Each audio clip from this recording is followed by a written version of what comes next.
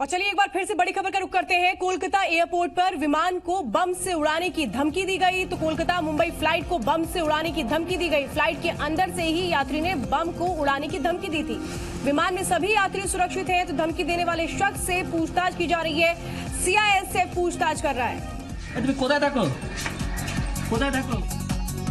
और ये देखिए वही शख्स है जिसने प्लेन के अंदर से धमकी दी थी। को की और इसके बाद कैसे इसे हिरासत में लिया गया है? पूछताछ की जा रही है सीएसएफ पूछताछ कर रही है।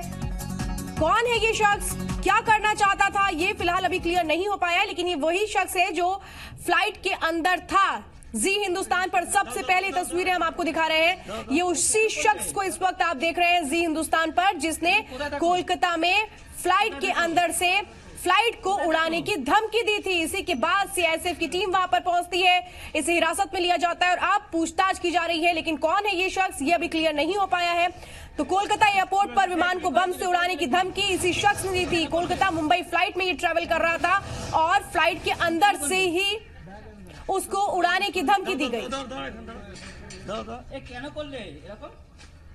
श्रांगुति इस वक्त हमारे साथ कोलकाता से फ़ोन लाइन पर जुड़ चुके हैं। श्रांगुति ये शख्स है कौन?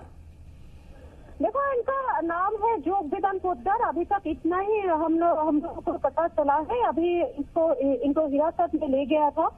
सुबह आठ बजकर पंद्रह मिनट ये अ, तो में दाखिल और सीधा के सीधा एकदम प्लेन में चढ़ बैठे।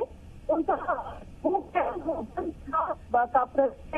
ये बिल्कुल बंद था और आसपास के जो और को पैसेंजर थे उनको पहले पता चला कि ये लोग कुछ बातें कर रहे थे। क्या बात कर रहे थे? कुछ लोग अब जब सुनने का कोशिश किया इन लोगों को पता चला कि ये कुछ साजिश कर रहा था कि कैसे ये दिमाग है ये जो प्लेन है इसको उड़ाया जाए।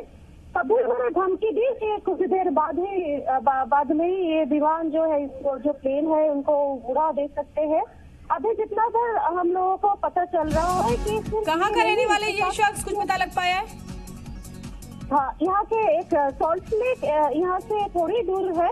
यहाँ के यहाँ पे रहने वाला है, लेकिन ये काम क्या करते हैं? क्या ये अकेले थे या नहीं? ये सब ये सब